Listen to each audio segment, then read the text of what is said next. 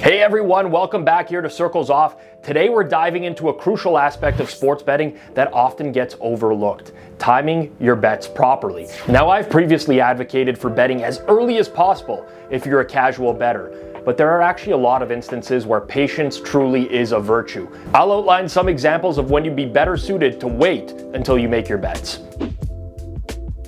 Timing your bets isn't just about choosing the right team or player, it's about staying ahead of the market and recognizing patterns and trends.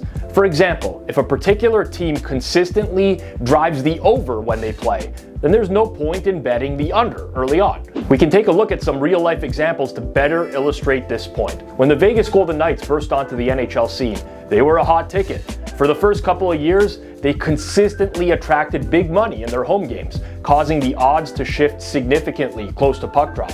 Now, due to the amount of betting volume on the Knights in their home games, lines would shift pretty drastically relative to other NHL games. If you're looking to bet against Vegas during those early years, betting early would have been a very costly mistake, whereas waiting until closer to game time would have given you a much better price, showcasing the importance of staying on top of market trends. Oftentimes, you aren't going to be able to catch on to this immediately, but if you're paying close enough attention, you can start to use these consistent market moves to your advantage. Now, shifting focus to the NFL, let's talk about the Philadelphia Eagles during the 2022 23 season.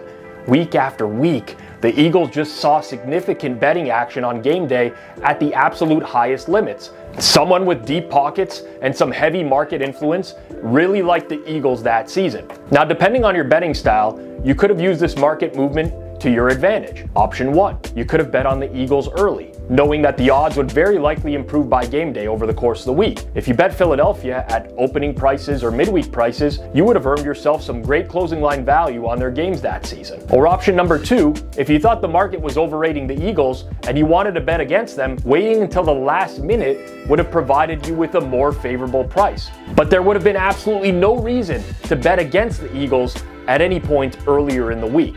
The timing of player injuries can also greatly impact the market. Whenever a key player is sidelined, the market is bound to react to that information. If you anticipate an overreaction, it's often best to just wait for the news and wait for the subsequent market shift before you place your bet. This might seem like common sense, but it's actually one of the biggest mistakes that I see casual bettors make. Remember, price matters in every single sport. So, what's the takeaway here? While betting early can often be advantageous, it's crucial to stay flexible and adapt to market trends. Whether it's recognizing a team's consistent pattern or capitalizing on market overreactions to player injuries or whatever else it might be, timing truly is everything in sports betting. That's it for today's episode here of Circles Off. If you found this information helpful, don't forget to hit that like button and subscribe for more sports betting insights. Until next time, may your bets be timely and your winnings plentiful.